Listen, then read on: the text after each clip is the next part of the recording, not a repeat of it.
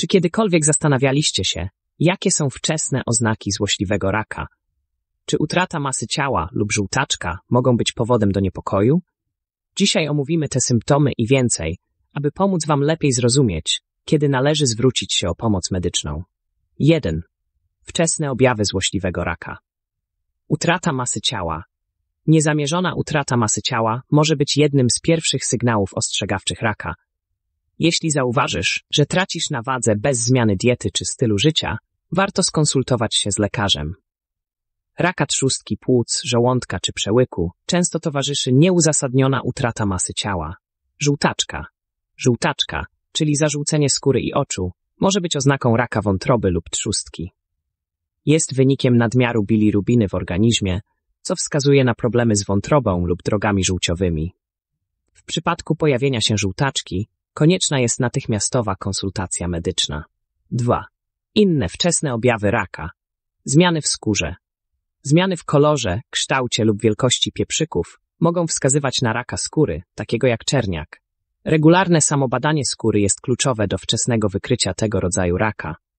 Nieprawidłowe krwawienie, krwawienie z odbytu, dróg moczowych lub płuc może być sygnałem raka jelita grubego, pęcherza moczowego lub płuc.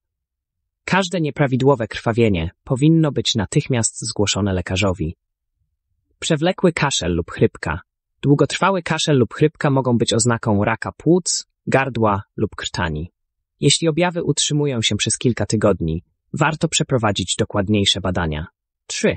Długoterminowe skutki zaniedbania objawów zaawansowane stadium raka. Nieleczone wczesne objawy mogą prowadzić do zaawansowanego stadium raka, co znacznie zmniejsza szanse na skuteczne leczenie. Wczesna diagnoza i leczenie są kluczowe dla zwiększenia przeżywalności, pogorszenie jakości życia.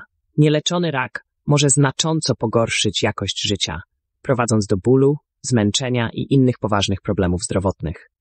Szybkie działanie może pomóc w utrzymaniu lepszej jakości życia przez dłuższy czas. Kiedy szukać pomocy medycznej? Regularne badania kontrolne.